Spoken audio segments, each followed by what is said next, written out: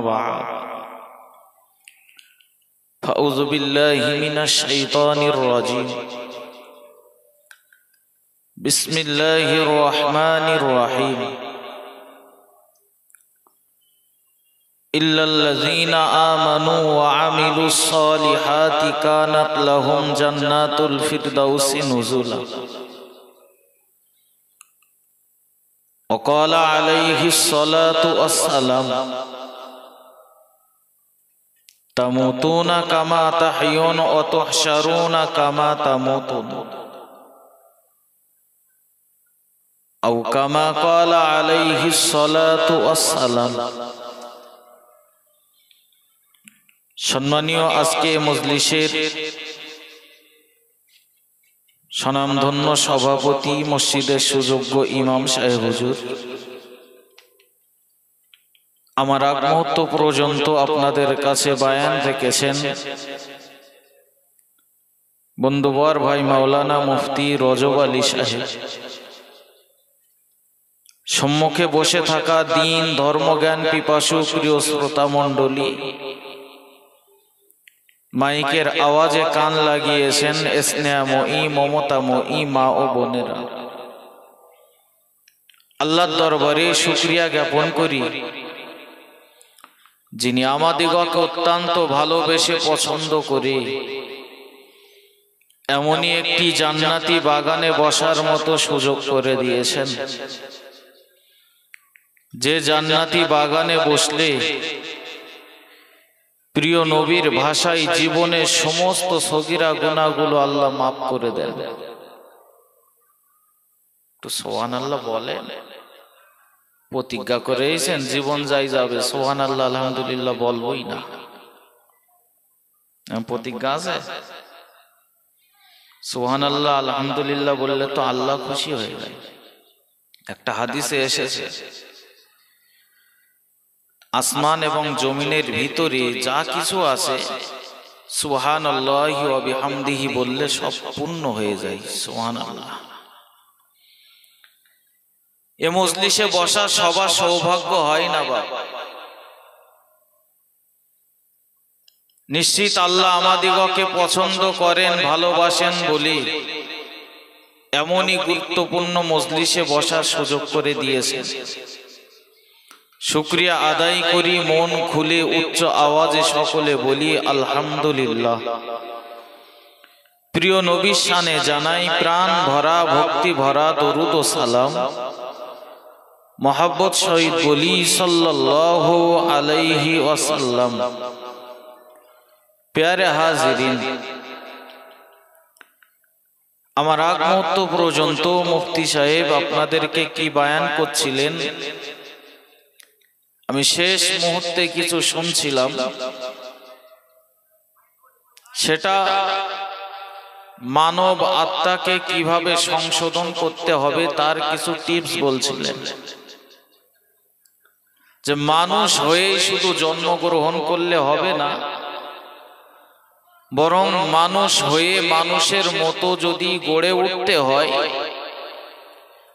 তাহলে শরিয়াতের নির্দেশমালাগুলো গলায় পরাতে হবে।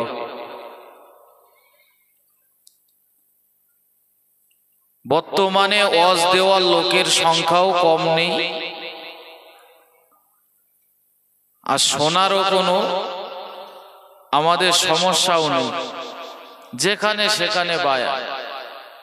মোবাইল খুলবেন কত রকম বায়া। চতুর্দিকে ওয়াজ মাহফিল। এরপরেও এত হেদায়েতের কথা শোনার পরেও মানুষেরা যেমন পাপের ভিতরে ছিল, এখনও ঠিক তেমন পাপের ভিতরে কোনো পরিবর্তন হচ্ছে না। ওয়াজ বলো, হচ্ছে রীতিমতো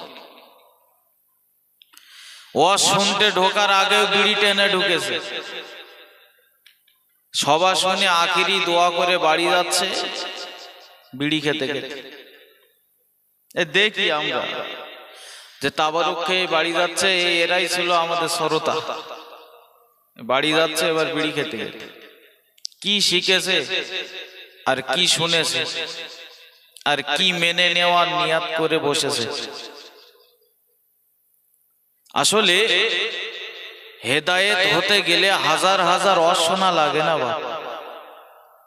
হেদায়েত হতে গেলে একটা ওয়াজ হেদায়েতের জন্য যথেষ্ট। তবে মানার নিয়াতে বসতে হয়। যা আলেম ওলামারা আসবেন তারা যে কথাগুলো বলবেন আলাপ আলোচনাগুলো করবেন, সেগুলো আমি বসবো, শুনব, যেগুলো নিষেধ করবেন, সেগুলো যদি আমার ভিতরে থাকে, আমি বর্জন করব, বাদ দিয়ে চলবো, আর যেগুলো আদেশ করবেন, আমি আজ থেকে আলেমের মুখের এই জবান থেকে কথাগুলো শুনলাম, আমল করে যাব। এমন নিয়াত নিয়ে যদি বসতে পারতাম, তাহলে আমাদের হাজার হাজার অশোনা লাগতো না। একটা ওয়াজ যথেষ্ট হয়ে যেত। কিন্তু আমরা কীরকম বলেন দিন? শুনব, মানব না। তাহলে জীবনের কোনো উন্নতি হবে? ইমাম সাহেব হুজুর মসজিদে গতকাল জুম্মার দিন হয়ে গেছে। মসজিদে যে আলাপ আলোচনাগুলো করেন, বায়ান বক্তব্য রাখেন ওইগুলোই বলো হেদায়েতের জন্য যথেষ্ট হয়ে যায়। আপনার জ্বর হয়েছে। তো কোথায় যাবেন? পিফা বাজারে যে একটা হাতুড়ে ডাক্তার আছে তার কাছে গেছে। তো ডাক্তার প্রেসক্রিপশন লিখে দিয়েছে এই এই ঔষধগুলো খেতে হবে। আপনি প্রেসক্রিপশন নিয়েছেন নিয়ে বাড়ির শোকেসের ভিতর রেখে দিয়েছেন কই শরীর ঠিক হচ্ছে না তো? এই পিফার ডাক্তারের কাজ না, বদরতলায় যেতে হবে। কারণ বদরতলার নামি দামি ডাক্তারের কাছে গেছে। ডাক্তার সাহেব সব শুনে প্রেসক্রিপশন লিখে দিয়েছেন, আপনার এই রোগের এই এই ঔষধগুলো খেতে হবে, তাহলে আপনি সুস্থ হবে বসিরহাটের ডাক্তার দেখিয়ে প্রেসক্রিপশনটা ভাস করে সুন্দর করে আবার শোকেসে রেখে দিলাম। ঠিক হচ্ছে না কেন? আমার এত ডাক্তারের কাছে যাচ্ছে, হবে না। আরজি করে যাই দেখি। আরজি করে গেছে। নামি দামি ডাক্তার প্রেসক্রিপশন করে দিয়েছে। সেও দলা করে রেখে দিয়েছে। মরিচ যে? ভেলুড়ে যেতে হবে না, নাকি শেষ পর্যন্ত? আচ্ছা আসলে ঠিক হচ্ছে না, কারণ কি? এতে কবে বয়েছেন নাকি? আশ্চর্য ব্যাপার। আমার কথা বুঝতে অসুবিধা হচ্ছে? কথা বলেন। আর যদি বলেন, না, হুজুর, দাওয়াত করে নিয়েছে, আপনার গাওয়া গিয়ে যান। বেকার বকান কেন? আমি আমার মতো গিয়ে যাচ্ছি। আর যদি আমি আমার মতন করি, ওই সকালবেলা হুজুরের ধরতে হুজুর মাতিন সাহেব ওয়াজ করছিল, ইউসুফ জুলাইকার কাহিনী বলছিল, খুব ভালো লাগছিল হুজুর, এত সুন্দর লাগছিল। তা সে জুলাইকা মেয়ে লোক না মদ্দা লোক এইরকম এই জিনিসটা যেন না হয়, ওই জন্য একে অপরের ভিতরে কথার আদান প্রদান করলে বুঝতে সুবিধা হয়। আসলে আমার শরীর যেমন খারাপ ছিল, এখনও পর্যন্ত খারাপ আছে। এর কারণটা কি? ডাক্তার প্রেসক্রিপশন করে দিচ্ছে ওষুধ খাচ্ছি না তো। না খেলে ঠিক হয়। ইমাম সাহেব তিনি প্রেসক্রিপশন করছেন। মহল্লার মানুষদেরকে এই এই এই এই কাজগুলো করা যাবে না। ইমাম সাহেবের কথাই হচ্ছে না। ওই মাতিন সাহেবের দাওয়াত করার রজব আলীর কর দেখি। তাদের কথাই হেদায়েত হয় কিনা? আমরাও এসে প্রেসক্রিপশন করে গেলাম এই কাজ করতে হবে। এদের দ্বারাই হচ্ছে না। কাইম সাহেবের দাওয়াত কর দিন কাইম সাহেব হুজুর এসেও তিনিও প্রেসক্রিপশন করেছেন, তাও কাজ হচ্ছে না। মানবো তারপর তো হবে। মানা নিয়াতে বসবো তারপরে তো। মুসলমানেরা ভালো করে মাথায় রাখুন আল্লাহর মান ওলি, হযরত মালিক ইবনে দিনার রাহমাতুল্লাহ আলাইহি, তিনি বলেছেন আমার হেদায়েত হওয়ার পিছনে একটা রাত্রির স্বপ্ন আমার হেদায়েতের কারণ হিসাবে দাঁড়িয়েছে। জোরে বলেন, সুবহানাল্লাহ। ও ভাইরা, বাবাজিরা, মালিক ইবনে দিনার আল্লাহর বড় দুশ্মন ছিল। মালিক ইবনে দিনার আল্লাহর বড় নাফরমান বান্দা ছিল। কিন্তু তিনি আল্লাহ পাকের ওলি হয়েছিলেন, মানার মতো মেনে নিয়েছিলেন বলেই। আজ হাজার ওয়াজ নসিহত শুনি, মানার মতো নিয়াত করে বসি না আমরা। যার জন্য যেমন বেনামাজি ছিলাম, তেমন বেনামাজি রয়ে গেলাম। যেমন সুদ ছিলাম, তেমন সুৎকর রয়ে গেলাম। যেমন আমি এমন করে বিভিন্ন পাপের ভিতরে মগ্ন ছিলাম। ও শোনার পরেও সেই পাপটাও আমার ভিতর থেকে চলে গেল না। কারণ হলো, নিজে পরিবর্তন হওয়ার চেষ্টা করি না। আল্লাহ কোরআন শরীফের ভিতরে জানিয়েছেন, আমি আল্লাহ ততক্ষণ পর্যন্ত কাউকে পরিবর্তন করি না। যতক্ষণ না পর্যন্ত সে নিজে পরিবর্তন হওয়ার চেষ্টা না করে। মালিক ইবনে দিনার রহমাতুল্লাহ আলাইহি বললেন আমার হেদায়েত পিছনে একটা মাত্র রাত্রির স্বপ্ন যথেষ্ট হয়ে গেছে। কোন এক রাতের বেলা আমি ঘুমিয়েছিলাম, হঠাৎ করে স্বপ্ন যোগে দেখতে পেলাম, একটা বিরাট অজগর সাপ আমাকে তাড়া করে চলেছে, ধাওয়া করেছে, আমার পিছু নিয়েছে। আমি ভয়তে দৌড়াতে লাগলাম, দৌড়াতে দৌড়াতে দেখতে পেলাম সামনে একটা জয়ীব মানুষ, একটা বৃদ্ধ মানুষ। আমি বৃদ্ধ মানুষটাকে ডাক দিয়ে বললাম ওগো চাচা যান আমার পিছু নিয়েছে একটা একটা বিরাট বড় অজগর সাপ। অজগর সাপের হাত থেকে আমাকে বাঁচান। বৃদ্ধ মানুষটা বলল, আমি তোমাকে বাঁচাতে পারব না। আমি খুব দুর্বল মানুষ, অন্য কোথাও যাও। দৌড়াতে লাগলেন। দৌড়াতে দৌড়াতে সামনে দেখে ছোট্ট একটা বাচ্চা বাচ্চা অন্য কেউ নয়, বাচ্চাটা হলো তার নিজের কলিজার টুকরি সন্তান। একটা মেয়ে ছোটবেলায় তিনি হারিয়েছিলেন, সেই মেয়েটার সঙ্গে দেখা। মেয়েটা জড়িয়ে ধরেছে, আব্বা, দৌড়াচ্ছ কেন? বলে আমার পিছু নিয়েছে একটা বিরাট অজগর সাপ, আমাকে বাঁচাও। ওগো আমার আব্বা জান আমি আপনাকে কেমন করে বাঁচাবো? বলে, না বাঁচালে আমি পারব না। আমার সঙ্গে একটা বৃদ্ধ মানুষের দেখা হয়েছিল, সেও আমাকে বাঁচাতে পারল না। বলে, আব্বা জান ওই বৃদ্ধ মানুষটা অন্য কেউ নয়। ওই বৃদ্ধ মানুষটা হলো আপনার জীবনের নেক আমলগুলো। আর ওই যে সাপ তাড়িয়ে বেড়াচ্ছে, ওই যে সাপ তাড়িয়ে তাড়িয়ে আপনাকে ধাওয়া করে চলেছে, সেটা হলো আপনার জীবনের বদ আমলগুলো। এখন আপনার যদি নেক আমল যদি বেশি থাকতো, তাহলে আপনাকে তো নিষ্কৃতি দেয়া যেত। ওগো আমার আব্বা জান আমি আপনার কলিজার টুকরি বললাম, আজ থেকে তবা করে নাও, আজ থেকে গুনার কাজ ছেড়ে দাও। এক আল্লাহকে আল্লাহ বলে যেমন মেনে নিয়েছো ঠিক মেনে নেওয়ার মতো মেনে নিতে হবে। ঘুমটা ভেঙে গেল। এমন তবা করেছে। আল্লাহ পাকের ওলি বান্দা হয়ে গেছে। জোরে বলেন, সুবহানাল্লাহ। আমরাও যদি ওই রকম দৃঢ় প্রতিজ্ঞা নিয়ে অজের মজলিসে বসতাম, পরিবর্তন হব। এত কিছু লাগতো না। কিন্তু হই হই রয় রমা আমরা দুনিয়ার পিছনে ছুটে চলেছি। আল্লাহ যে আমাদেরকে একটা উদ্দেশ্য নিয়ে সৃষ্টি করেছেন উদ্দেশ্যটা আমরা ভুলে গেছি। আমার আল্লাহ যে কিসের জন্য সৃষ্টি করেছেন সেদিকে আমাদের মোটেও খেয়াল নেই। আমরা যারা এখানে বসে আছি সবাই আমরা বলি আমরা ইমানদার মুসলমান। কিন্তু সত্য সত্য ইমানদার মুসলমান হতে গেলে আল্লাহর হুকুম না মানা পর্যন্ত তো আমি দাবি করতে পারি না। আমার ঘরে যেগুলো আসবে সেগুলো মানব, বিরুদ্ধে যেগুলো চলে যাবে ছেড়ে দেব। এটা ইমানদার মানুষের তো লক্ষণ নয় বরং ইমানদার মানুষের এটাই পরিচয়। আমার পক্ষে থাক আর বিপক্ষে থাক যে কথাগুলো আমার অজানা ছিল জানা হয়ে গেল আজ থেকে তার উপরেই বহাল থাকবে। আল্লাহ পাক রব্বুল আলামিন কোরআন শরীফের ভিতরে জানিয়ে দিলেন, আতিউল্লাহ ওয়া আতিউর রাসূল আমার বান্দা, বান্দিরা মনে রাখো, আমি আল্লাহ তাআলা জানিয়ে দিলাম, তোমরা আমি আল্লাহ এবং আমার রাসূলের ইত্তেবা করো। আমি আল্লাহ এবং আমার রাসূলের অনুসরণ করে চলো। এর বিপক্ষ রাস্তায় তুমি চলো না, এর বিরোধিতার রাস্তায় যদি চলো, সেটা শয়তানের রাস্তা।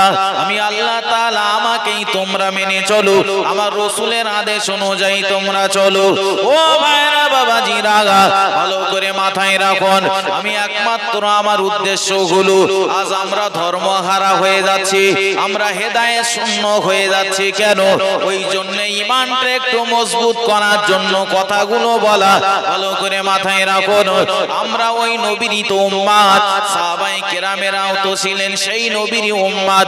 আমাদের রব যে আল্লাহ, সাহাবাই কিরাম দিগের রব তো ছিলেন সেই আল্লাহ। আল্লাহ নবীকে তারা কতটা মেনে চলতেন, আল্লাহর হুকুমকে তারা কতটা প্রাধান্য দিয়ে চলতেন তাম জীবনে সব কিছু বিসর্জন দিয়ে দেবে। কিন্তু আল্লাহ তাআলার কোনো হুকুম তারা লঙ্ঘন হতে দেবে না। জোরে বলেন, সুবহানাল্লাহ। আল্লাহ আল্লাহ নবীর একজন সাহাবী, যার নাম হলো হজরতে হযরতে সাইদ সালামী রাদিয়াল্লাহু তাআলা আনহু। হযরত সাইদ সালামী এত পরিমাণে কালো সাহাবী যাকে বলা হতো গোরাবুল আরব, আরবের কাক। কাকের শরীরের যে কালা রং, সেটা কেমন, লাল না হলুদ? কুসকুসে কালো না? গুরাবুল আরব বলা হতো, এত কালো এত কালো সাহাবি হজরত সাই সালামি তাকে বলা হতো গুরাবুল আরব। দাঁড় কাক, আরবের কালো কাক। দেখতে একেবারেই বিশ্রী। ঠোঁট দুটো মোটা। কিন্তু সাহাবির মনে সুখ শান্তি নেই। একটা গাছের নিচে চুপচাপ বসে আছে মন খারাপ। আল্লাহ পাকের প্রিয় নবী মুহাম্মদ রাসূলুল্লাহ সাল্লাল্লাহু আলাইহি ওয়াসাল্লাম। হুজুর আমার, তিনি এবার ওই সাই সালামের পিছন দিক থেকে চোখ দুটো বন্ধ করে দিয়েছে। কণ্ঠস্বর পাল্টে দিয়েছে। আমরা এরকম অনেক সময় করি না। পিছন দিক থেকে যে চোখ ধরি, এই কে রে কে রে? নাম না বলতে পারলে ছাড়বো না। তো নবীজিও চোখ ধরেছেন। তাহলে ভাই তুমি কে আমার মন খারাপ খুব চোখ ছেড়ে দাও। নবীজি গলার কণ্ঠস্বর অন্য করে দিয়ে বলছেন আমার নাম বলো আগে। সোহানাল্লাহ বলে। নবীজি মাঝে মাঝে কৌতুক করতেন। মাঝে মাঝে কৌতুক করতেন হাদিস শরীফে এসেছে। নবীজি সাহাবাই কিরামদেরকে ডাকলেন আবু বাকার আছে ওমার আছে উসমান আছে আলী আছে কয়েকজন সাহাবীকে নিয়ে নবীজি বসে আছেন। মাঝখানে আছে একটা খেজুরের প্লেট। খেজুর খাচ্ছে সবাই। বাবা সবাই খেজুর খাও। খেজুর খাচ্ছেন। নবীজি হঠাৎ করে বলে উঠলেন এত বড় পেটুক তো তোমাদের দেখিনি? সামনে দিছি বলে এত খাওয়া খেতে হবে। একটু আস্তে খাও। সাহাবাই কেরামেরা তাকা তাকি শুরু করে এই জীবনে নবী এরকম বলিনি, আর আজকে হঠাৎ আমাদের এরকম বলেছে, মান সম্মানের ব্যাপার। নই বলছেন এত খেতে হয় পরের জিনিস? অনেকে দেখবেন পরের জিনিস খাই কীরকম? বাড়ি গোস্ত কিনেছে এক কেজি। তাতে আলু কেটে দেশে পাঁচশো। আর খায় আলু খায় আর বলে আলুই স্বাদ আলুই স্বাদ। আলু ভালো লাগে গোছে আলু না দিলে হয়। আর কুটুম বাড়ি গেছে বাই চান্স একটা আলু পড়েছে তুলেই সিলিপসি। তুলেই সিলিপসি ওর স্থান প্লেটে থাকে। তো নবী যখন বলেছেন বলছেন সব থেকে যার সামনে খেজুরের আটি বেশি সেই বড় পেটু তাকিয়ে দেখে হজরত আলীর সামনে খেজুরের আটি ঢিবে গেছে। নবী আর আলীর ভিতরে সম্পর্ক কি? শ্বশুর জামাই লজ্জা লাগবে তো? হায় আল্লাহ আমার সামনে এত বেশি এদের সামনে তো এত নেই। লজ্জা লেগে গেছে।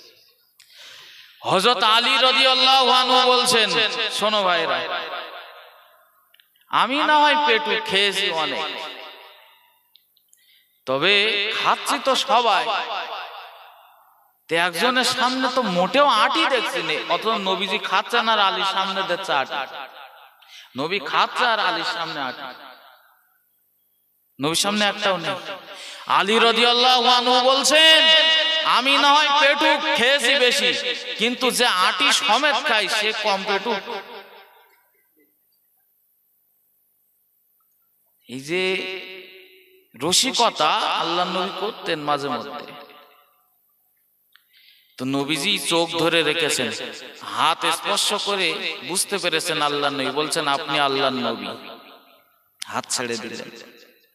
দেওয়ার পরে বলছেন, বাবা তোমার মন খারাপ কেন? গাছের নিচে এমন করে বসে আস বাবা সাই সালামি তুমি নতুন কলেমা পড়ে ইমান গ্রহণ করেছ বাবা।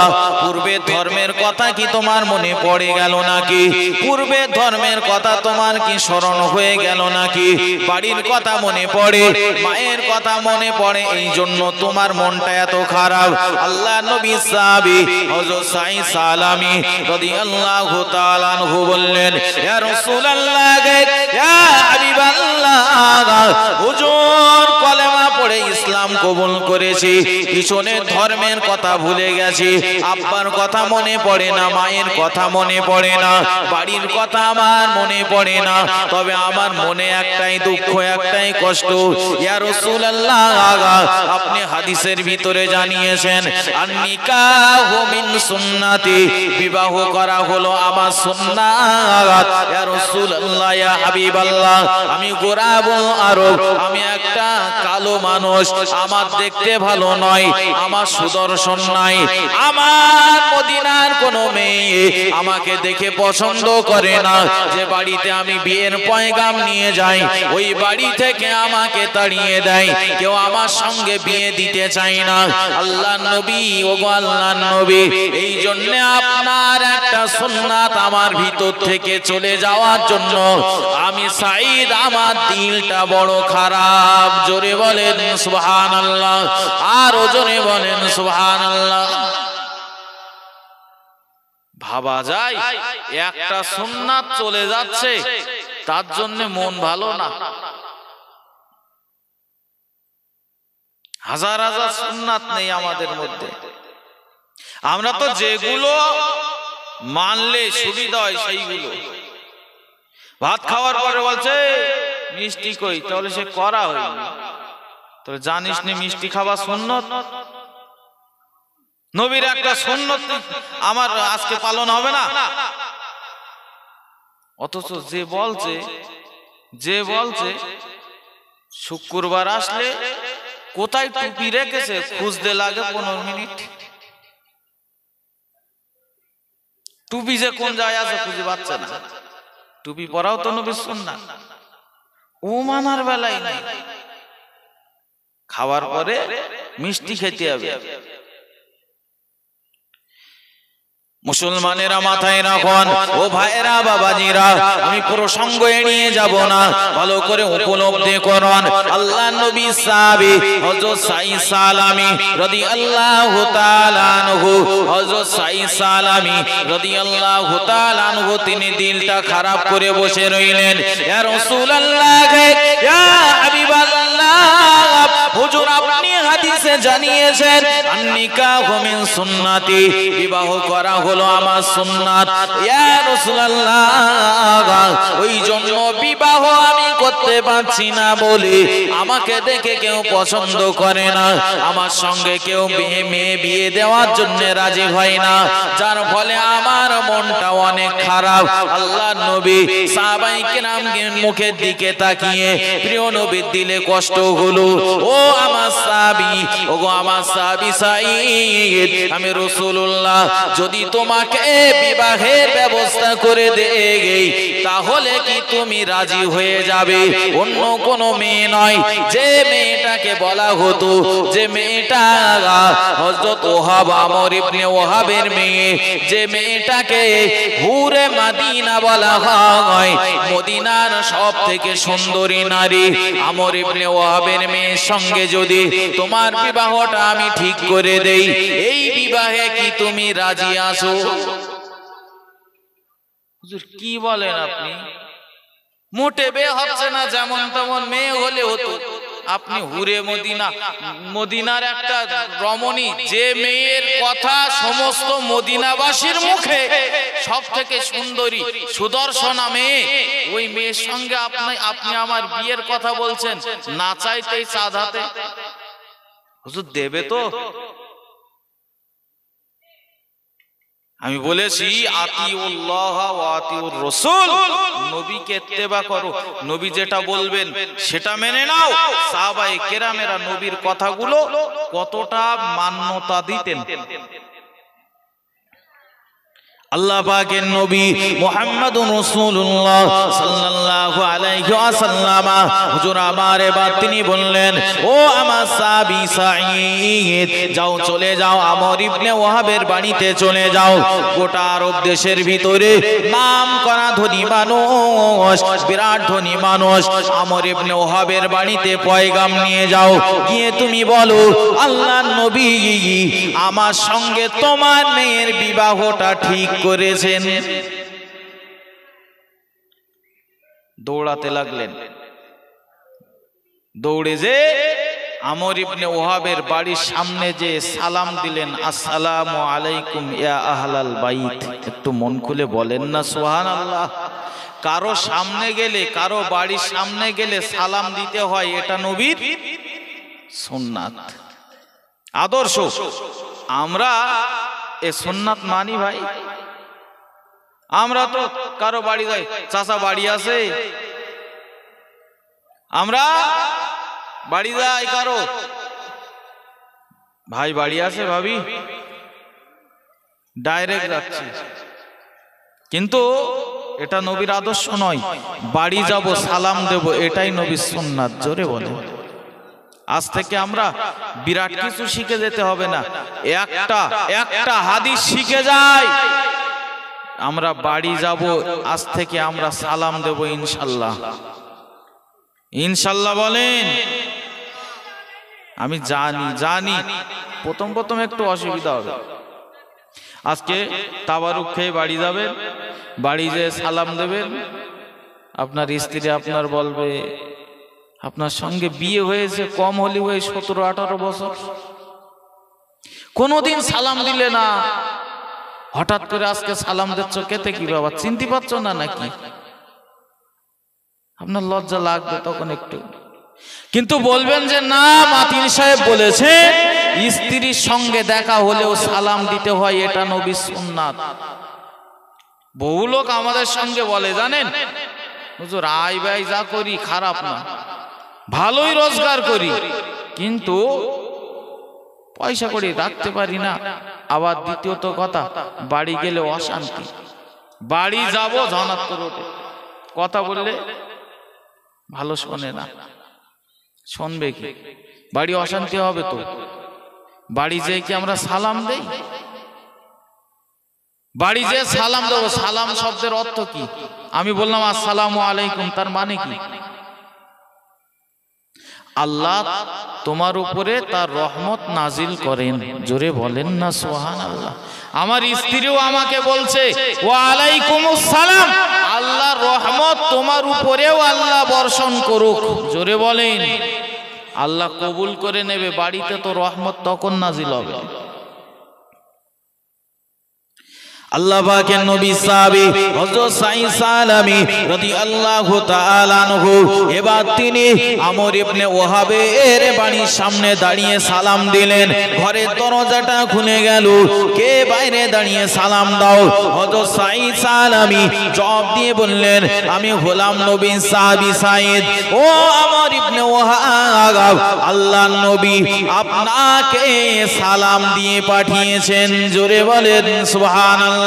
যেই না শুনেছে আল্লাহ নবী সাই সালামিকে সালাম পাঠিয়েছে।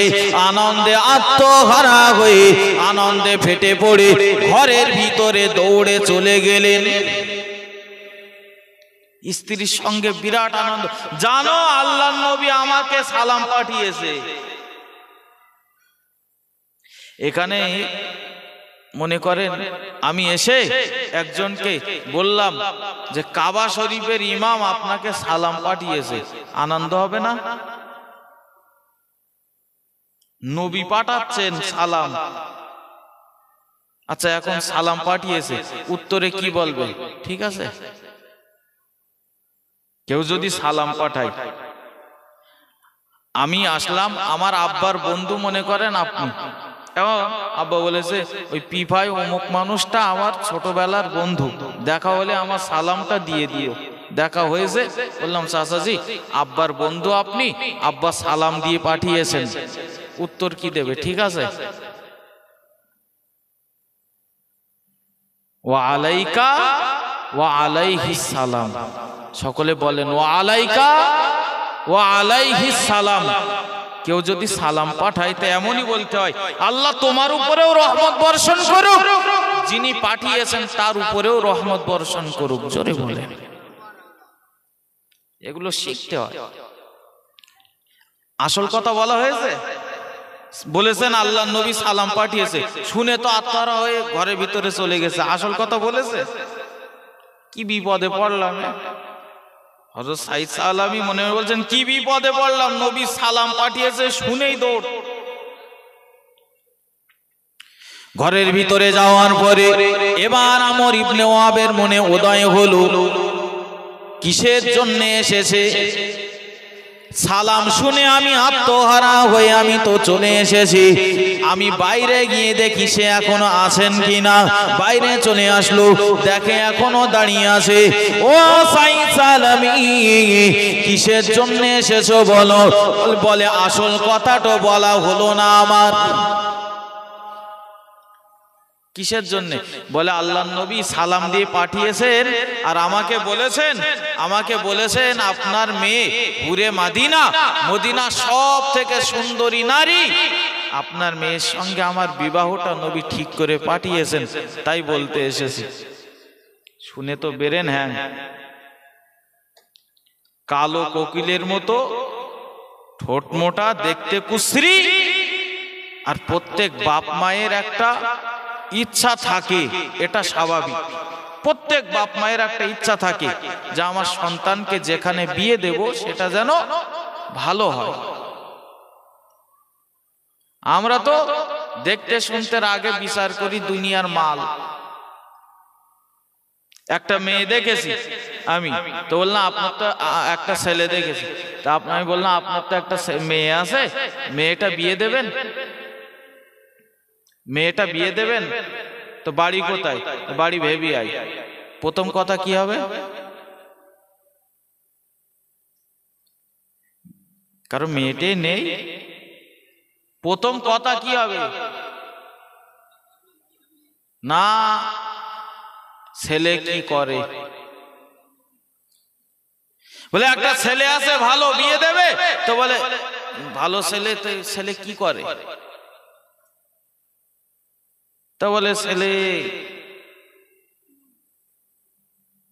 তো ছেলে ওই ইম্পোর্টের কাজ করে আর বিলাকে মাল পারাপার করে, বাংলাদেশে দেয়, বাংলাদেশের মাল এপারে নিয়ে আসে, এই করে পার ডে কম হলেও চার, পাঁচ হাজার টাকা রোজগার করে, এই কাজ করে।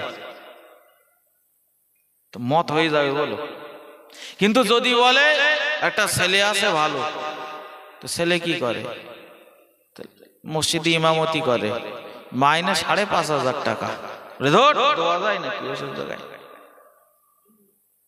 আজ পর্যন্ত শুনলাম না কোন গার্জিয়ান কোন মেয়ের বাপ বলেছে যে ছেলেটা তো ভালো বলছেন ছেলেটা পাঁচক্ত নামাজ পড়ে তো ছেলেটা রমজান মাসে রোজা রাখে তো ছেলেটা হালাল পন্থায় আয় উপার্জন করে তো এমন কথা কারোর মুখে শুনলাম না।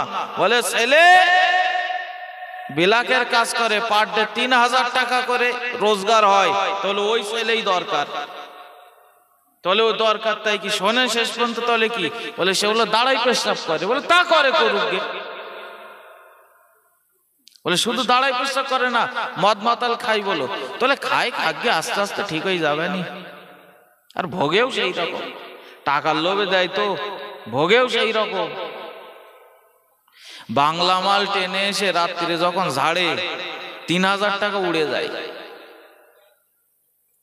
কিন্তু আপনি লিখে রাখুন একজন আলেম, একজন হাফেজ সাহেবের স্ত্রীর কাছে জিজ্ঞাসা করে দেখবেন যে আপনার স্বামী তো, আপনার স্বামী তো মাসে ছ টাকা রোজগার করেন। আপনার স্বামীর এই ছ টাকা রোজগারে আপনার সংসারে কতটা শান্তি হয়? বলে, আমার সংসারের শান্তির কথা মুখে প্রকাশ করতে পারব না। খুব সুখে আছি, খুব শান্তিতে আছি। কিন্তু যে তিন হাজার টাকা পার ডে রোজগার করে, তার বাড়িতে জিজ্ঞাসা করবেন, বিরাট আনন্দে আসো তো, তিন হাজার টাকা করে কামাই করে স্বামী? তলে সে আর বলু না। রাতটা হতি দাও। উশাস ঠুসঠাস, কত কি শোনবা বাড়ির পাশে এসে। টাকার লোক হযরত সাইদ সালামি রাদিয়াল্লাহু তাআলা তিনি এবার যখন প্রস্তাবটা দিয়ে দিলেন, স্ত্রীর কাছে চলে গেল, ও আমার বিবি, গোরাবুল আরব সাইদ সালামি, কালো কুৎসিত কদাকার দেখতে, যাকে কেউ মেয়ে দিতে চায় না, ওই ছেলে আমার মেয়েকে বিয়ে করবে বলে আমার কাছে সে বলতে এসেছে। স্ত্রী বলে, আমার পছন্দ হয় না। স্বামী বলে, আমার পছন্দ হয় না।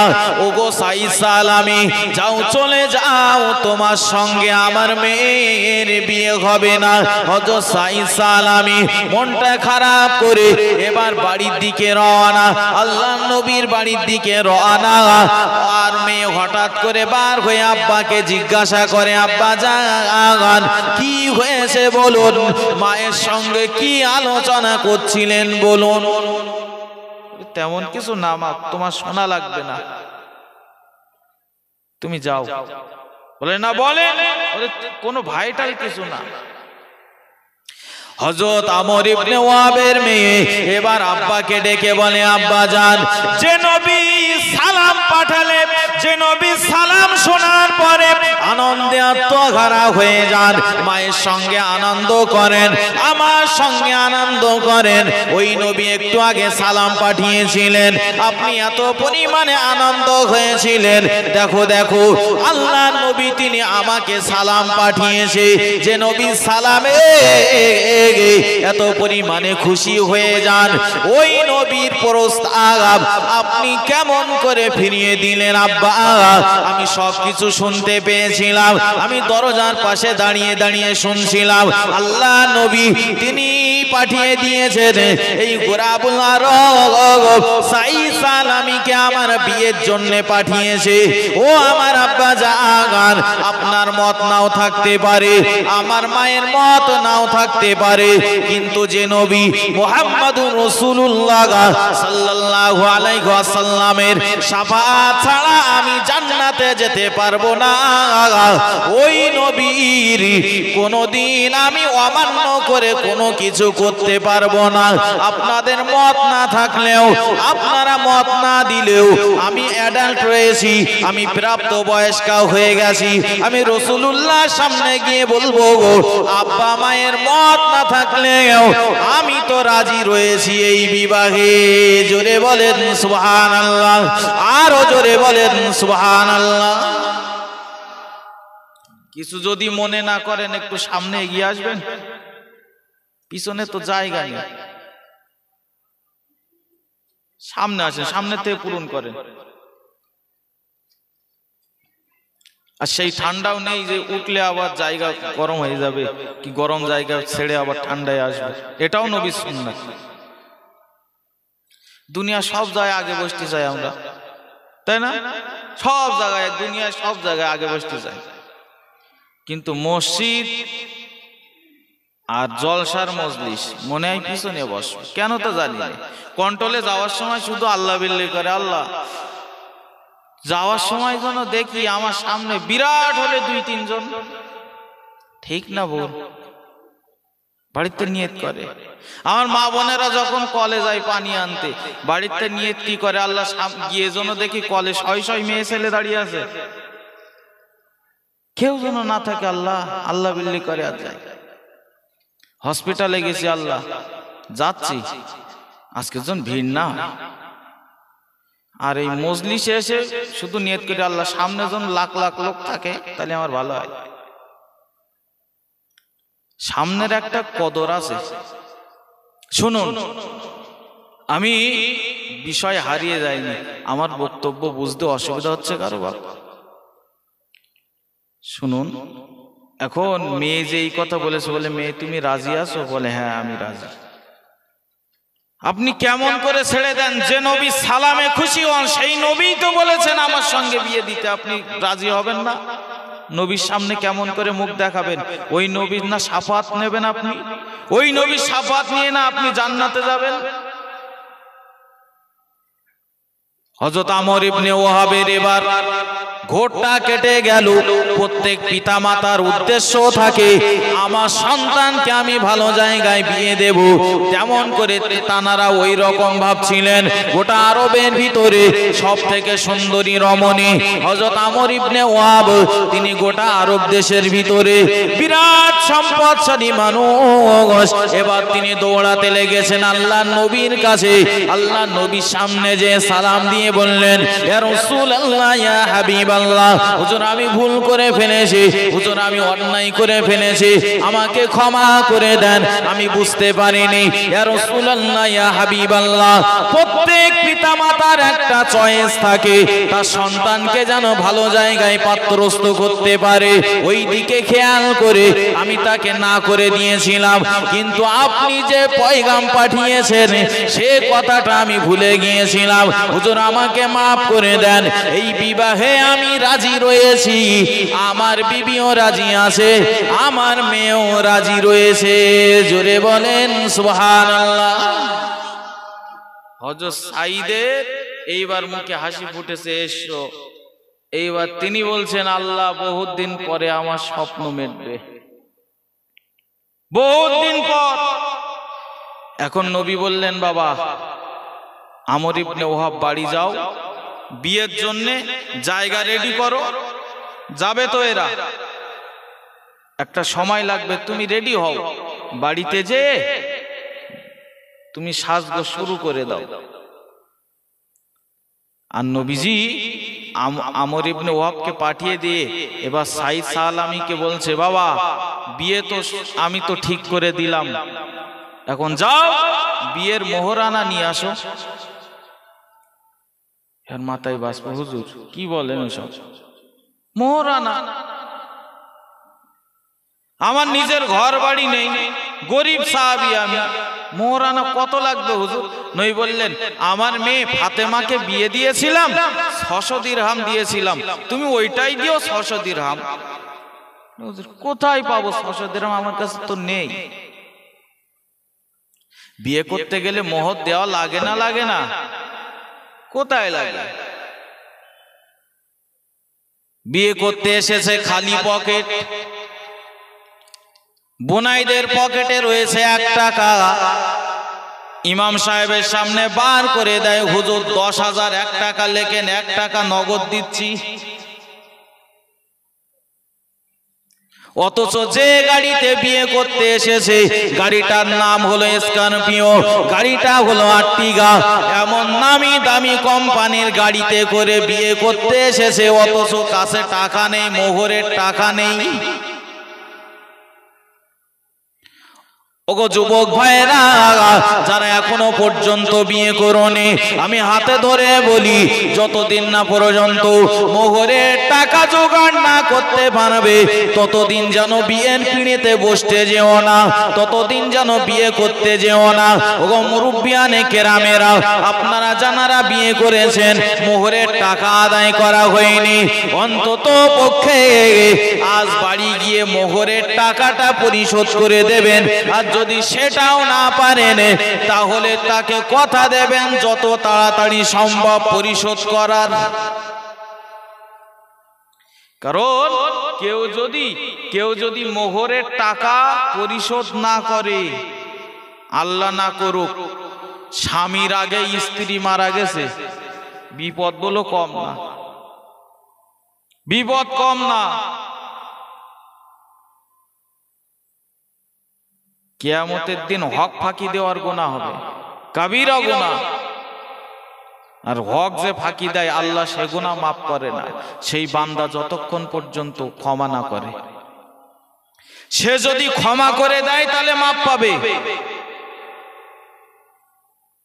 ওগো মুরব্বীরা জানি না কার বাকি আছে। অন্তত পরিশোধটা করে দেন। আজ যদি আপনি আগে মারা যান, স্ত্রী বেঁচে থাকে, এদিকে টানছে মারা গেছে। ইমাম সাহেব বলছে, এই তো মোহরের টাকা দিল তোর বাপ তা বলে তা বলতে পারব না। যা মার কাছে, মায়ের কাছে গেছে। মা মোহরের টাকা দিয়েছিলে? টাকা দিয়েছিল আব্বা? তা বলে, না দেইনি তো। তা আমার আর দাবি টাবি নেই। দাফন করে দাও, কোনো সমস্যা নেই। আমি মাফ করে দিলাম। ও সেই কলে ফেলে কলমা পড়া মতন না। কিছু করার আছে। আর ও ভাইরা, বাবাজিরা, যে মেয়েটা আপনার বাড়ির দাসী হিসাবে সে কাজ করতে থাকে, কাজের কোনো শেষ ঠিকানা নাই। যে মেয়েটা আপনার বাড়ির একজন ধোপার কাজ করে, সারাটা বাড়ির মানুষের কাপড় চোপড়গুলো পরিষ্কার করে দেয়। যে আপনার বাড়ির নারীটা আপনার বাড়িতে ম্যাথরের কাজ করে, পেশাব পায়খানা টয়লেটগুলো পরিষ্কার করে দেয়। আব্বার বাড়ি থেকে, আব্বার বাড়ি থেকে কত কষ্ট করে আপনার বাড়িতে এসে মানিয়ে নিয়ে নিয়েছে। ওই নারী সামান্য মোহরের টাকাটা বাকি রাখবেন না, খবরদার। খবরদার খবরদার। মোহরের টাকা যদি কেউ বাকি রেখে মারা যায়, ওই মানুষটাকে আল্লাহ তাআলা ক্ষমা করে দেবেন না। যতক্ষণ না পর্যন্ত স্ত্রী মাপ না করে দেবে আল্লাহ নবী বললেন, ওগো আমার সাহাবী সালামি যাও বাড়িতে তুমি চলে যাও। যাও তুমি কোথায় যাবে? ছশো দেড়হাম তুমি জোগাড় করে নিয়ে আসো। আমার মেয়ে ফাতেমা আমার সঙ্গে তোমার সামঞ্জস্য হয়ে যাবে। আমার মেয়েকে যেমন আমি দিয়েছিলাম ছশোদের হাম মোহর আমাকে দিয়েছিল হজরত আলী। ও ভাইরা বাবাজিরা, তিনি বললেন, আমি ছশোদের হাম কোথাও খুঁজে পাবো না। আমার কাছে কোনো টাকা নেই, পয়সা নেই, আমার কাছে কোনো অর্থ নেই। ওগো ভাইরা বাবাজিরা, আল্লাহ নবী বললেন, ওগো আমার সাহাবাই কেরামেরা, কে কোথায় আসো?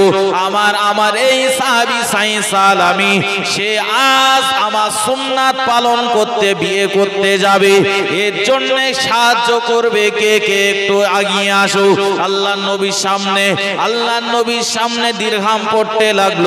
দীর্ঘাম পড়তে পড়তে দীর্ঘামগুলো ঢিবি হয়ে গেল। প্রিয় নবী এবার গুনতে বললেন, গুনতে গিয়ে দেখা গেল, নবীর সামনে পড়ে রয়েছে নশো দীর্ঘাম। জোরে বলেন সুহান আল্লাহ লাগবে কতটা? ছশ। আছে নশ।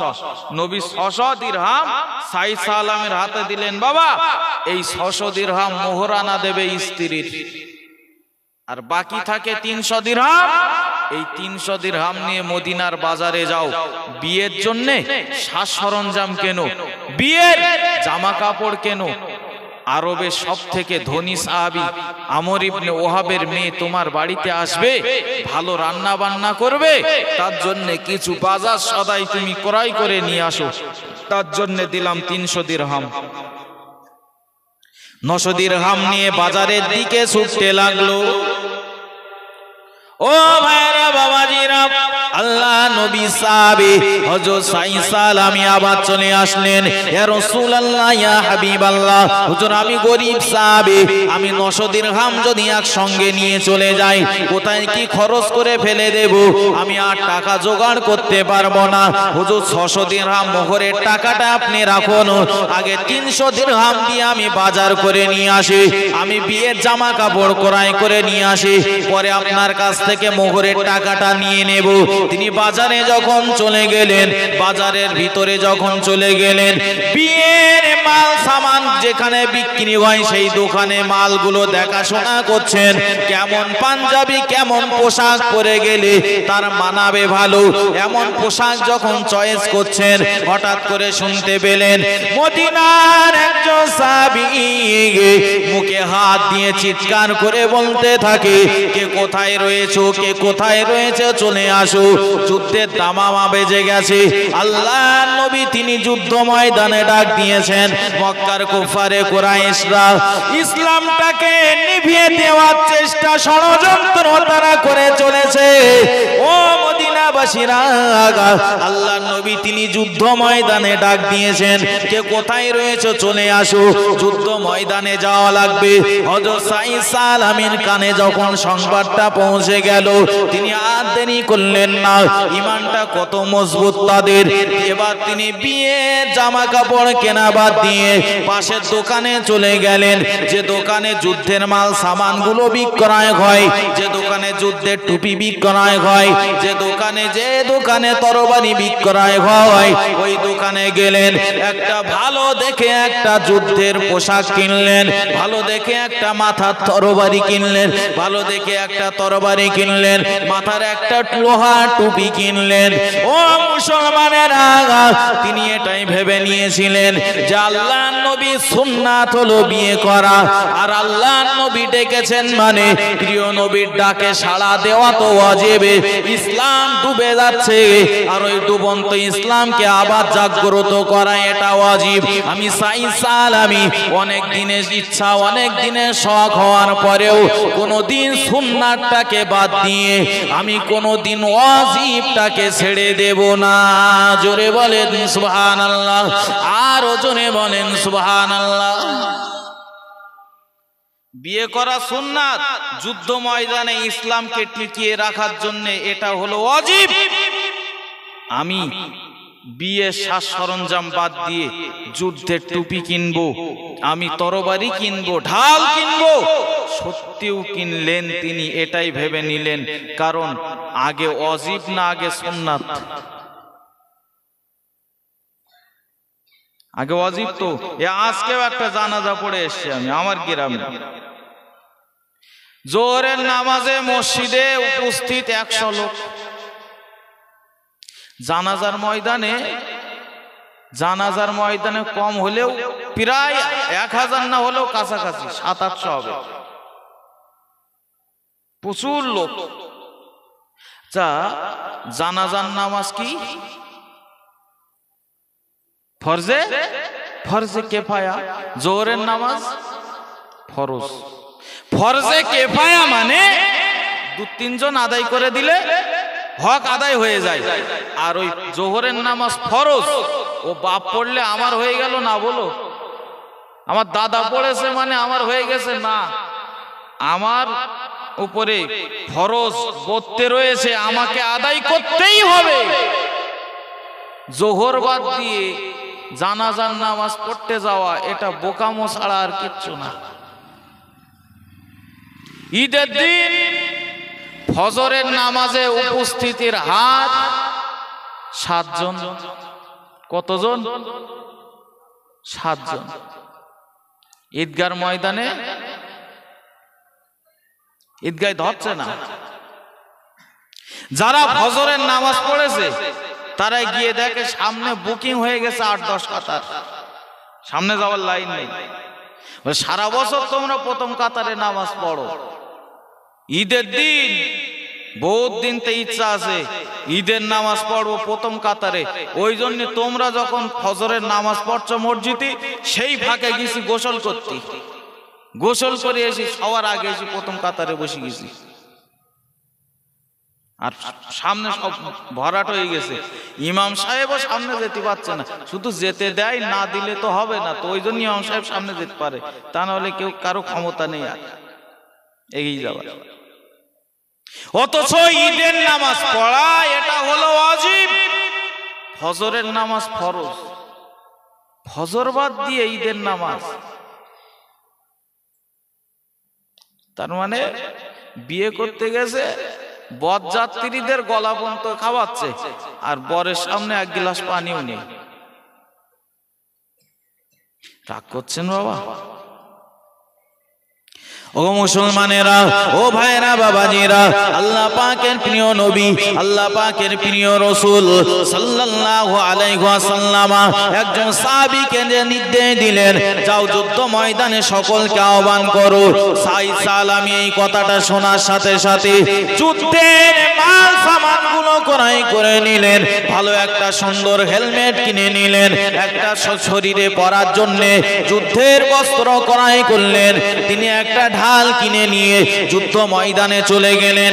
যুদ্ধ করতে লেগে গেছেন। এমন সময় যখন যুদ্ধ ময়দান যখন কায়েম হয়ে গেল, আল্লাহর কি রহমত? ওই যুদ্ধে আল্লাহ তাআলা জয়ের টুপি মুসলমানদের মাথায় পরিয়ে দিলেন। জোরে বলেন, সুবহানাল্লাহ।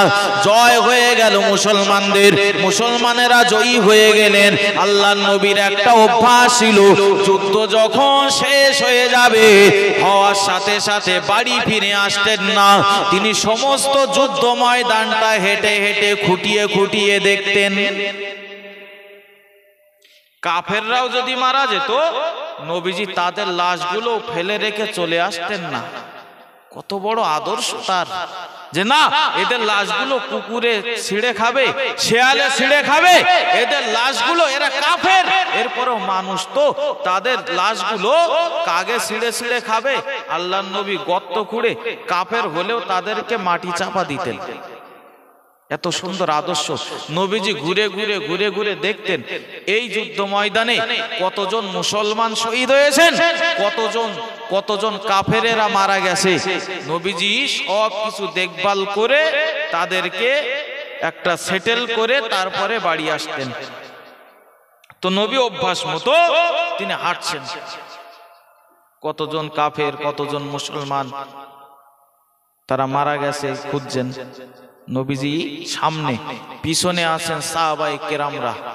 নবীজি হাঁটতে হাঁটতে থমকে দাঁড়িয়ে গেলেন। সাহাবারাও দাঁড়িয়ে গেছেন। ইয়া রসুল আল্লাহ কি ব্যাপার? হঠাৎ দাঁড়িয়ে গেলেন? নই বললেন, বাবারা এই এই হেলমেটটা একটু খুলে দাও তো। একজন সাহাবী ওই লাশের হেলমেটটা খুলে দিয়েছেন। আর খুলে দেওয়ার সাথে সাথে বিরাট রক্ত প্রবাহিত হতে লেগেছে। আল্লাহ নবী দেখে চিনতে পেরেছেন এটা অন্য কোন সাহাবি নয়। এটা হলো আমার গরিব সাহাবি, এটা হলো আমার কালো সাহাবি হজরতে সাইদ সালামি। প্রিয় নবীকে দে ফেললেন, ও আমার সাহাবি সাইদ যুদ্ধ ময়দানে বাবা, তুমি কখন এসেছ? তোমার তো যুদ্ধ ময়দানে আসার কথা নয়, তোমার তো শ্বশুর বাড়িতে থাকার কথা। তুমি বিয়ে করবে বলে, তুমি আমার কাছে কত বাইনা করছিলে? তোমার চোখে পানি এসে গিয়েছিল। তোমার মনে কত কষ্ট ছিল? আমি রসুল্লাহ আরবের সব থেকে সুন্দরী নারীর সঙ্গে তোমার বিবাহটা ঠিক করে দিয়েছিলাম। ওগো আমার সাবি সাহেব তুমি যুদ্ধ ময়দানে আসলে কেন গো তোমার তো তোমার স্ত্রীর সঙ্গে থাকার কথা। আল্লাহ নবী এমন করে করে কাঁদেন। এমন একটা সময় যখন চলে আসলো, প্রিয় নবী মাথাটা উঁচু করলেন। প্রিয় নবীর এবার সাহাবাই কেরামেরা দেখতে পেলেন মুখে যেন হাসি ফুটে উঠেছে। আল্লাহ নবী আবারও এবার তিনি লজ্জায় মাথাটা নিচু করে নিলেন। সাহাবাই কেরামেরা অবাক হয়ে গেলেন। হুজুর আপনি একটু আগে কাঁদছিলেন। আবার উঁচু করে আপনার মুখে হাসি দেখা যায়। আবার আপনি লজ্জায় মাথাটা নিচু করে নিলেন। হুজুরের কারণটা কি আমাদেরকে খুলে বলুন? আল্লাহ নবীজি বলেছিলেন ওগো আমার সাহাবাই কেরামেরা আগা আমি রসুল্লাহ এই জন্য আমি কাঁদছিলাম, তোমরা জানো না। আমার এই সাহাবি সাইদ বিবাহ হয় না বলে, আমার সুন্নাত পালন করতে পারে না বলে এর সঙ্গে মেয়ে বিয়ে দিচ্ছিল না। যার জন্য এত পরিমাণে মন খারাপ করছিল। আমি রসুল্লাহ তাকে বিবাহ ঠিক করে দিলাম। গোটা আরবের ভিতরে ধনী সাহাবি, আমর ইবনে ওহাবের মেয়ে হুরে মদিনা।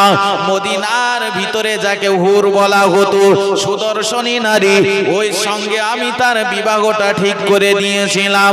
এ তো বিবাহ করে আনন্দ করার কথা শ্বশুর বাড়িতে আনন্দ করার কথা।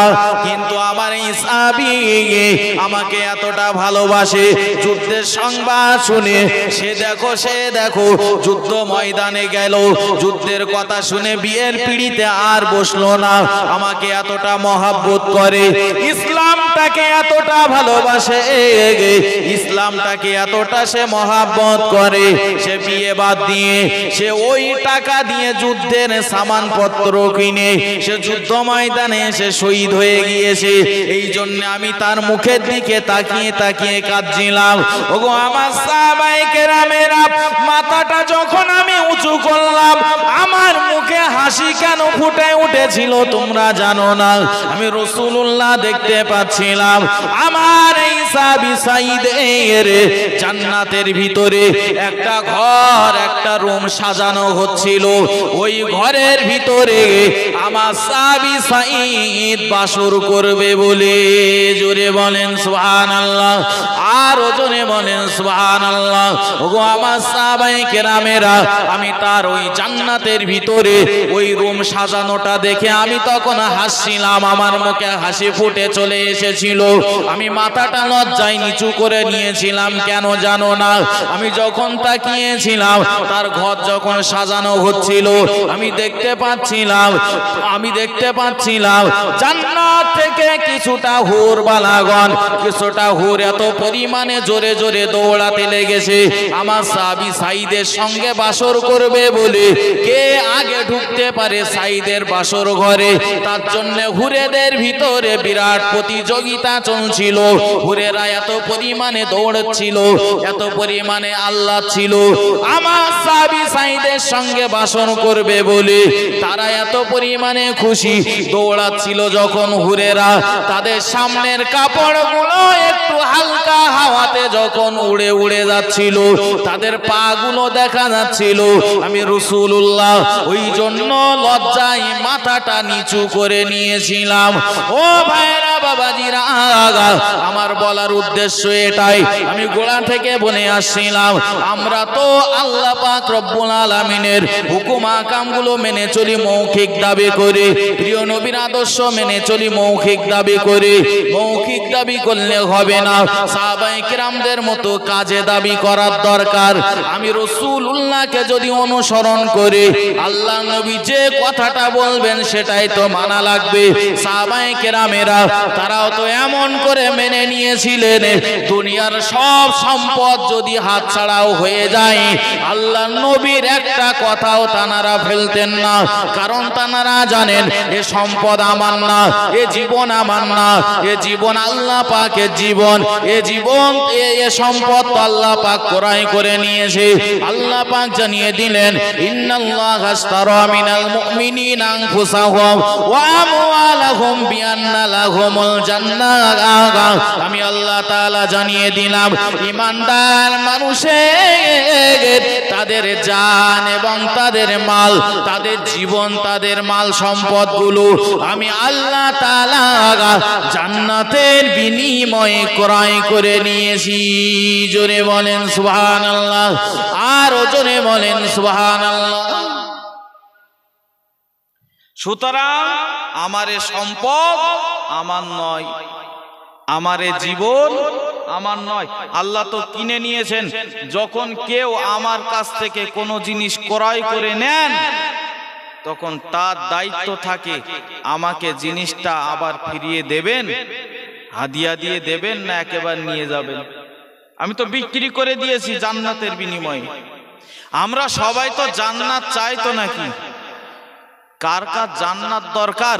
আজকে মজলিসে বসে মনে আশা নিয়ে আল্লাহকে কি দুই হাত তুলে দেখানো যায় যে আল্লাহ আমাদের জান্নাত দরকার? নারাই তকবি নারাই তকবি বলা আলামিন আল্লাহ আপনার এই সমস্ত বান্দারা, তারা হাত উঁচু করে রেখেছে আল্লাহ।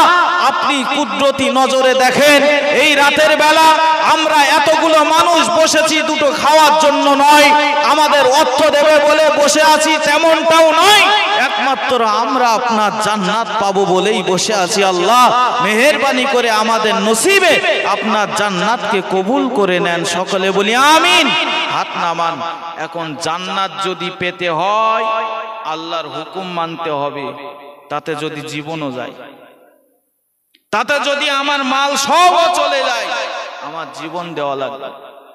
কলেমাটাকে কতটা ভালোবেসেছি, ইসলাম ধর্মটা কত কষ্ট করে এসেছে, আমরা বুঝতে পারছি না কিছু। আমরা তো নাম কাওয়াজতে, আল্লাহকে মানতে পেরেছি আল্লাহ যে বলেছেন আতিউল্লাহ আতিউর রসুল। আমাকে মেনে নাও আমার রসুলকে তোমরা ইত্তেবা করো রসুলকেও মেনে নাও। মানতে তো পাচ্ছি না। তার ভিতরে একটাই আমাদের প্রতিবন্ধকতা সৃষ্টি করে সেটা হলো সম্পদ। সেটা হলো অর্থ। আমরা দেখে যেখানে মাল আছে সেইখানে আছে। অর্থ যেখানে আছে সেইখানে আছে। আজকে যদি বলা হতো এ মজলিসে ঢুকলেই পাঁচশো নোট একটা করে দেওয়া হবে। এ অবস্থা কি হতেই যায়? কিন্তু বসলে তো সব হবে। সবের জায়গায় নেই। টাকা দেন, রাত আড়াইটে, তিনটে, দুটো, কোনো ব্যাপার না। কাজ করবে। কিন্তু একটা দিন রাতের বেলা ওই যে মানুষটা কাজ করার জন্য রাত দুটোর সময় উঠছেন, আড়াইটার সময় উঠছেন, দুটো পয়সার জন্যে। একটা দিন ওই রকম টাইমে আল্লাহর কাছে হাত তুলে কোনোদিন তওবা করেছি আল্লাহ। সবাই তো ঘুমিয়ে আছে আল্লাহ। সবাই তো নিস্তব্ধ। আমি আপনার পাপি বান্দা আল্লাহ। আমাকে তুমি মাফ করে দাও। আমি আপনার জাহান্নামকে অনেক বড় ভয় পাই আল্লাহ। আমাকে ক্ষমা করে দাও। এমন করে কেউ ওই রাতের বেলা জান্নাত পাওয়ার জন্য কতজন উঠেছি আমরা? যারা উঠি যারা তওবা করি তানারা নিশ্চিত আল্লাহকে ভয় করেন বলেই আমরা এই কাজগুলো করি। আজ আল্লাহর কত হুকুম দিনের পর দিন, দিনের পর দিন ছেড়ে চলে যাচ্ছে। আল্লাহ কোনো কিছুর অভাব দেয়নি আমাদের। সব দিয়েছে। বান্দা সব নাও, হাওয়া নাও, কার্বন ডাই অক্সাইড নাও, বাতাস নাও, আলো নাও, সব তোমাকে দিলাম। আমি আল্লাহ চাই আমার অন্তত এই নিয়ামাতগুলো পাওয়ার পরে শুক্রিয়া আদায় করো। এই যে রাতের বেলা প্যান্ডেল সাজিয়েছে মাঝে মধ্যে এই কারেন্টে সিরিজ লাইন হয় না হয় না? আচ্ছা অক্সিজেনে কোনোদিন সিরিজ লাইন হয়েছে? যদি হতো? শুই পড়তে হতো না? আল্লাহ কোনোদিন বলো অক্সিজেনে সিরিজ লাইন করে দেয়নি যে একটা মিনিট আমি আল্লাহ অক্সিজেন দেব না। আল্লাহ বলছেন, বান্দা সব নাও, নিয়ামাত সব তোমাদের। আমি আল্লাহ চাই আমার শুক্রিয়া আদায় করো। কিন্তু আমরা বান্দারা এমন। আল্লাহ সব নিয়ামাতগুলো উপভোগ করি, কিন্তু শুক্রিয়া আদায় করার বেলায় আল্লাহকে করি না, কারণ মানুষ বড় নিমক হারাম নুন খাই গুন গাই না। আল্লাহ তাআলা কোরআন শরীফের ভিতরে বলেছেন, ইন্নাল ইনসানা লিরাব্বিহি লাকানুদ। আমার এই সমস্ত বান্দা বান্দিরা কিছু মানুষেরা রয়েছে, তারা বড় নিমক হারাম তারা বড় অকৃতজ্ঞ। আমি আল্লাহ আমার থেকে সব নিয়ামাত গুলো বুঝে নাই, কিন্তু আমাকে একবার আল্লাহ বলে ডাকে না। ও ভাইরা বাবাজিরা, একজন মা রাতের বেলা চোখ দিয়ে টপ টপ করে পানি ফেলে, স্বামী জিজ্ঞাসা করে, এত রাতের বেলা কেন কান্নাকাটি করছ? আমার দ্বারাতে কি কোনো কষ্ট পেয়েছ নাকি?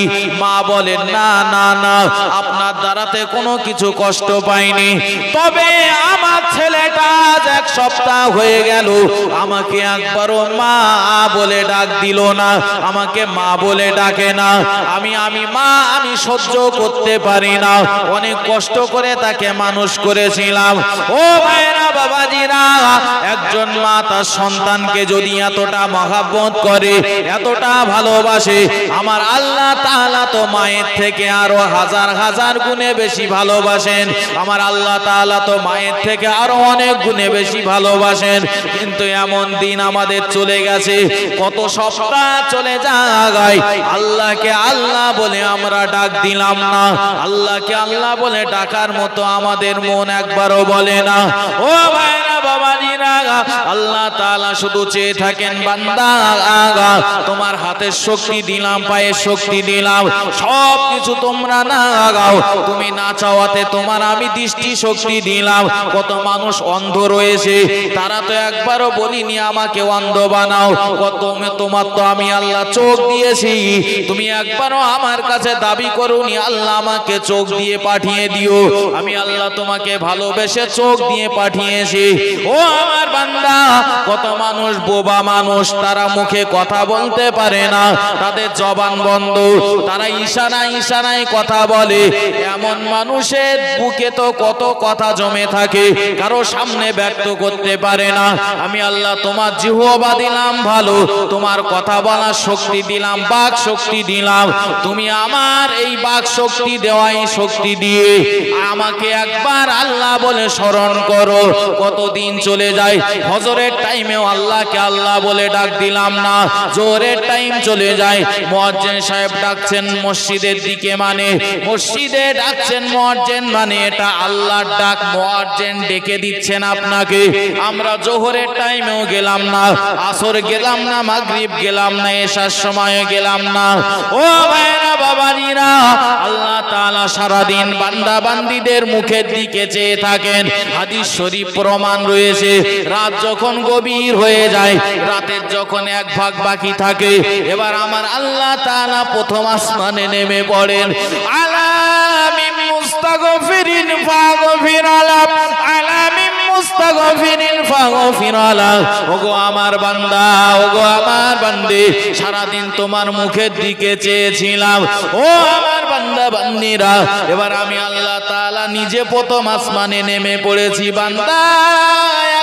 যদি আল্লাহ বলে ডাক দাও, আমি আল্লাহ, আমি বড় খুশি হয়ে যাব, আমি আল্লাহ বড় রাজি হয়ে যাব, আমি আল্লাহ তোমাদেরকে ডাক দিয়ে বলছে আলামি মুস্তাগফিরিন ফাগফির আল্লাহ তুমি অন্যায় করেছ, আমি আল্লাহ আমার কাছে চাও, তোমাকে মাফ করে দেব।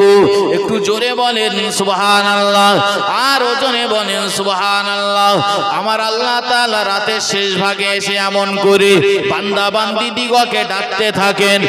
আর আমরা বড় নিম খারাপ ওই আল্লাহ সব নিয়ামাত নিয়েও আল্লাহকে আল্লাহ বলে ডাক দিলাম না।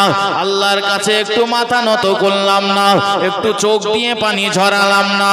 ও যুবক ভাইরা আল্লাহ তাআলা তোমার যে চোখ দুটো দিয়েছে, ঘরের ভিতরে তুমি ঢুকে গেছো। দরজা বন্ধ, জানালা বন্ধ। রাতের বেলা সারা রাত মোবাইলে তুমি গান সিনেমা দেখছ। আমার আল্লাহ যদি তোমার চোখে দৃষ্টি শক্তি না দিতেন, কেমন করে তুমি মোবাইলে গান দেখতে? আল্লাহ তো তোমাকে, আল্লাহ তো তোমাকে গান সিনেমা দেখার জন্য সৃষ্টি করিনি। গান সিনেমা দেখবে বলে আল্লাহ তোমার বলে এই চোখের দৃষ্টি শক্তি দেননি। চোখের দৃষ্টি শক্তি দিয়েছেন পিতা মাতার মুখের দিকে তুমি রহমতের দৃষ্টিতে তাকাবে, আল্লাহ তাআলা তোমার আমল নামায় মকবুল হওয়া হজে সব লিখে দেবেন, জোরে বলেন। আলেম মুখের দিকে তাকাবে জীবনে সগিরা গুণাগুলো ঝরে যাবে, জোরে বলে তা না হয়ে যত অশ্লীল কাজ, এ চোখ দিয়ে কত গুনার কাজ না করছি। যুবক ভাই যা কিছু হয়ে গেছে ফিরে আসি ফিরে আসি। আর গোনার দিকে না থাকি আর গোনার সঙ্গে কতদিন থাকব? জীবনে তো বহু গোনা করে ফেলেছি আমরা। আর কত গোনা করলে আমরা শান্তি পাবো বলে। হয়েছে তো প্রচুর। আর কত করতে চান গোনা? এই গোনা করতে করতে করতে করতে যদি হঠাৎ করে আজরাইলের ডাক চলে আসে কি জোগাড় করলে সারা জীবনে? আজকে যে মানুষটার জানাজা পড়েছি, যে মানুষটার জানাজা পড়ে এসেছি, ওই মানুষটার থেকে বহু বহু মানুষ তার থেকে বয়স বেশি জানাজার নামাজে দাঁড়িয়ে জানাজা পড়েছে। একটু চোখটা বন্ধ করে একবার ভাবুন, আমার থেকে কম বয়সী বহু মানুষ কবরে শুয়ে আসে না নেই? যেখানে দেখবেন সেখানে আসে। বাপের কাঁধে রয়েছে ছেলের লাশ। কত দেখেছি বড় ভাই বেঁচে আছে, ছোট ভাই কবরে চলে গেছে। কিসের গ্যারান্টি? কে, কিসের জন্য আমরা এখনও ভাবছি যে এখনও বহুত দিন বাঁচবো? আর কবে মসজিদে যাব? তবে এ কথা ঠিক, আমরা মসজিদে যেতে ভুল করলেও মসজিদের খাটিয়া আমাদের বাড়ি যেতে কোনো দিন বলো ভুল করবে না। ভুল আমরা করতে পারি মসজিদে যেতে। খাটিয়া একদিন ঠিক হাজির হয়ে যাবে। ও আসতে কোনো ভুল হবে না। আমার মরণ আসিবে কখন? কেউ তো জানে না। আমার মরণ আসিবে কখন? কেউ তো জানে না। আমি মরে গেলে আমায় তোমরা ভুলে যেও না। আমি মরে গেলে আমায় তোমরা ভুলে যেও না। আসিবে কখন কেউ তো জানে না। এই দুনিয়ায় চির জীবন থাকার জায়গা না। অন্ধকার কবর যে তোমার আসল ঠিকানা। ঠিক না আসল ঠিকানা কোথায় আমাদের? দুনিয়া বলো মুসাফির খানা নবী বলেছেন, কোন ফির দুনিয়া কান্না কাগরি দুনিয়া হলো মুসাফির খানা আসল ঠিকানা বলো কবর। এখানে আমরা জোগাড় করতে এসেছি। এই দুনিয়ায় চির জীবন থাকার জায়গা না। অন্ধকার কবর যে তোমার আসল ঠিকানা। সবাই রেখে আমায় চলে সবাই রেখে আমায় চলে যাবে, সঙ্গী হবে না আমার মরণ আসিবে কখন কেউ তো জানে না আমার মরণ আসিবে কখন কেউ তো জানে না। যে কোনো মুহূর্তে আসবে। কেউ আপন না বাপ, কেউ আপন না। আমার সব থেকে বড় আপন হলো আমার জীবনের নেক আমল। আমলটাই হবে আমার সব থেকে কাছের বন্ধু। নেক আমল করে যেতে পারলে আমার জান্নাত। যদি নেক আমল কম হয়ে যায় জাহান্নাম, আল্লাহ স্পষ্ট সেটাও জানিয়েছেন। আল্লাহ পাক জানিয়েছেন, মান আমিলা সলিহান ফালি নাফসিহি যে ব্যক্তি নেকির কাজগুলো করবে, সে তার নিজের জন্যই করল অমান আসা ফালাইগা আর যে ব্যক্তি অন্যায় কাজ করল, সে অন্যায়টাও নিজের জন্যই করল। ও ভাইরা বাবাজিরা, আজ ইসলামটাকে আমরা সহজে পেয়েছি বলে আমরা মান্যতা দিতে পারছি না। অত সেই নামাজ প্রতিষ্ঠা করতে যে আল্লাহ নবী কতটা নামার খেয়েছেন। প্রিয় নবী, এই কলেমার বাণী প্রচার করতে যে তিনি কতটা মার খেয়েছেন। তায়েববাসীরা আল্লাহ নবীকে মেরে বেহুশ করে দিয়েছিল। তায়েববাসীরা এত পরিমাণে প্রিয় নবীর উপরে পাথর ছুঁড়ে ছুঁড়ে মারে। আল্লাহ নবীর গায়ে রক্তগুলো পড়ে জুতার সঙ্গে জমাট বেঁধে গিয়েছিল। কেবলমাত্র ইসলামটাকে প্রতিষ্ঠিত করার জন্য।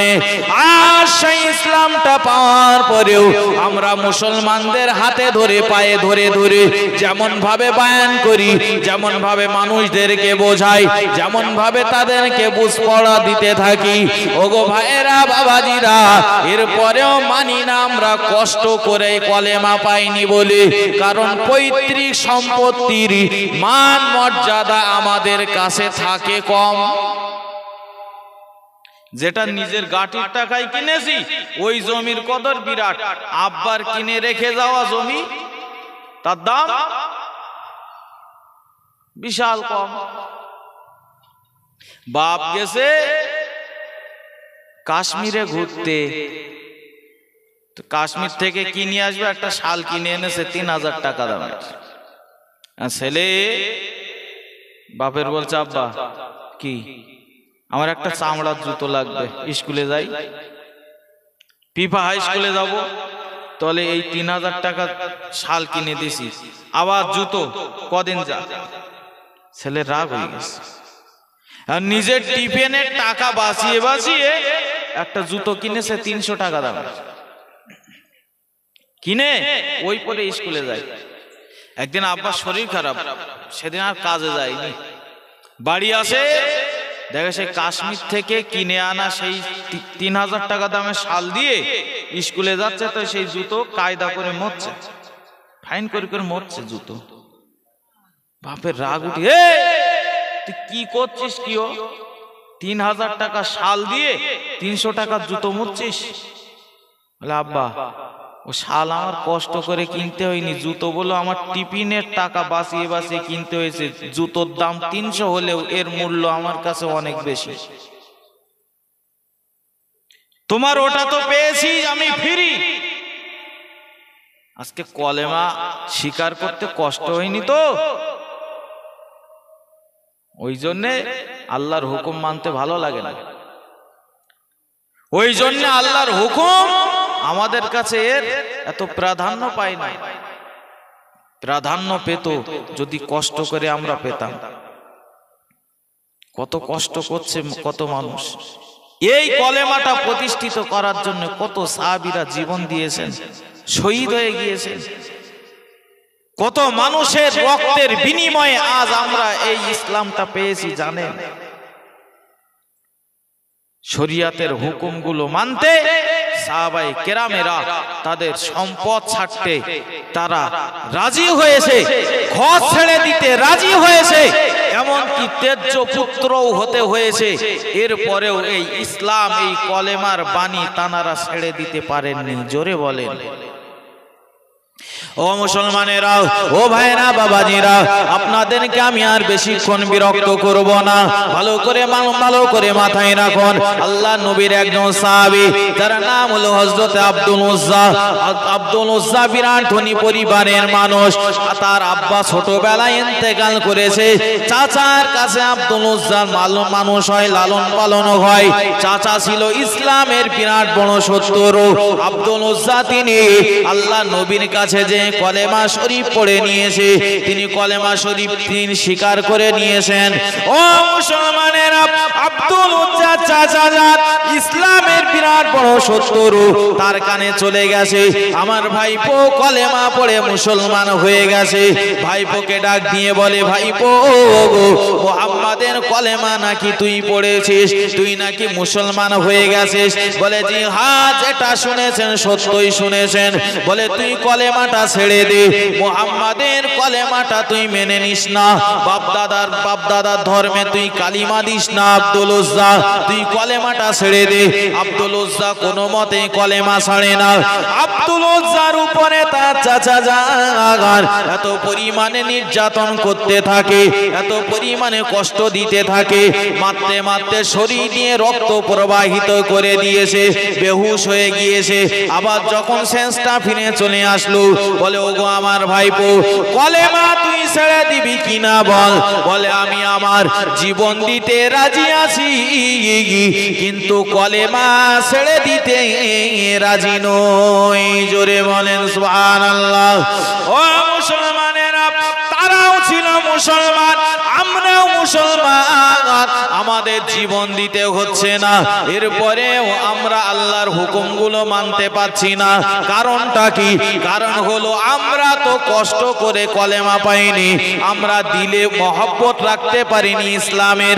আমাদের ইসলামের সঙ্গে সম্পর্কটা এখনও পর্যন্ত নিগুড় হয়নি, ভালোবাসাটা আমাদের গাঢ় হয়নি বলেই আমরা আল্লাহ নবীকে এখনও সুন্দর করে মেনে নিতে পারিনি। আল্লাহকে আল্লাহ আল্লাহ বলে, অন্তর থেকে মেনে নিতে পারিনি বলেই ওই জন্য আজ আমরা আমরা আল্লাহর হুকুমগুলো মেনে নিতে পাচ্ছি না। এমন কি দেখা গেল হজরতে হজরতে আব্দুল্লাহ রাদিয়াল্লাহু তাআলা আনহু কলেমা পড়ার পরে তার নাম হয়েছিল আব্দুল্লাহ। কলেমা পড়ার আগে নাম ছিল আব্দুল উজ্জা এবার তার চাচা জান ডেকে বলে, ওগো আমার ভাইপো, কলেমা যদি তুই ছেড়ে দিতে রাজি না হোস, তোর আব্বা অনেক ধনী মানুষ ছিল, অনেক জমি জায়গাগুলো ছিল, সব জমি জায়গাগুলো তোকে আর আমি দেব না, বঞ্চিত করে দিলাম। তুই বল, কলেমা ছেড়ে দিবি? না তুই এই জমি জায়গাগুলো ছেড়ে দিবি। বলে, আমি সব জমি জায়গা ছেড়ে দিতে রাজি আছি, কিন্তু কলেমা আমি ছেড়ে দিতে রাজি নই। এবার তার চাচা জান জানিয়ে দেয় হে আমার ভাই তুই কি সুস্থ মস্তিষ্কে বলছিস নাকি? যদি তুই মোহাম্মদের দরবার ছেড়ে দিতে রাজি না হোস, তুই মনে রেখে দে, এই বাড়িতে তোর কোনো জায়গা থাকবে না। এই বাড়িতে তোকে তোকে বার করে দেব। বলে, আমি নবীজির নবীজির পাগল হয়ে গেছি। ইসলাম ধর্মটা মেনে নিয়েছে। দুনিয়ার সামান্য শাস্তি ঘর থেকে বার করে দেবে। অথচ জান্নাত থেকে আমি মাহরুম হতে পারব না। আমি জান্নাত থেকে আমি বঞ্চিত হতে পারব না। ও আমার চাচা জাগান, এই বাড়িটা আমি আজ থেকে ছেড়ে দিলাম। জোরে বলেন, সুবহানাল্লাহ। আল্লাহ নবী সাবিক হযরতে আব্দুল্লাহ রাদিয়াল্লাহু তাআলা আনহু এবার তিনি ঘর ছেড়ে দিলেন, জমি জায়গা ছেড়ে দিলেন আল্লাহ নবীর। মসজিদে নবাবির দিকে দৌড়াতে লাগে। হঠাৎ করে চাচা যান ডাক দিয়ে বলে, হে ভাই মোহাম্মদের দরবারে তুই যাচ্ছিস, তবে তোর কি মনে পড়ে নাকি? তোর গায়ে যে জামাটা দেখতে পাচ্ছে, জামাটা তোকে কে ক্রয় করে দিয়েছিল? বলে, চাচা যান, আমার গায়ের জামাটা আপনি কিনে দিয়েছিলেন, কারণ ছোটবেলায় আব্বাকে হারিয়েছি। আপনি চাচা, আপনার কাছে মানুষ হই। আপনি আমার সব পোশাক আশাক ক্রয় করে দেন। বলে, যদি তুই মোহাম্মদের দরবার ছেড়ে দিতে রাজি না হোস, আমার দেওয়া জামা পরে মোহাম্মদের দরবারে যেতে পারবি না। হযরত হযরত আব্দুল্লাহ রাদিয়াল্লাহু তাআলা আনহু এবার গায়ের জামাটা খুলে দিলেন চাচার হাতে। এবার তিনি হাঁটতে লেগেছেন।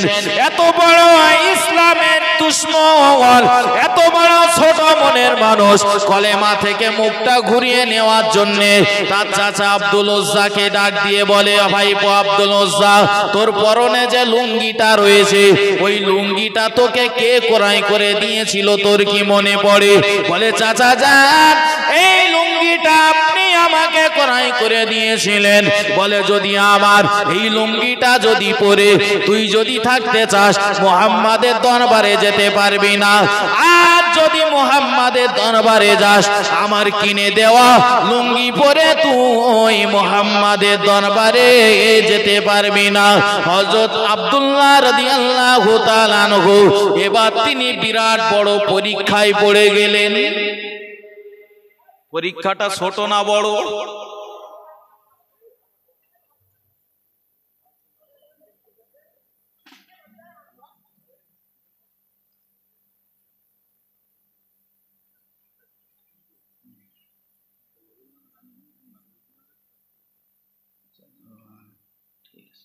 দরুদ শরীফ আল্লাহুম্মা।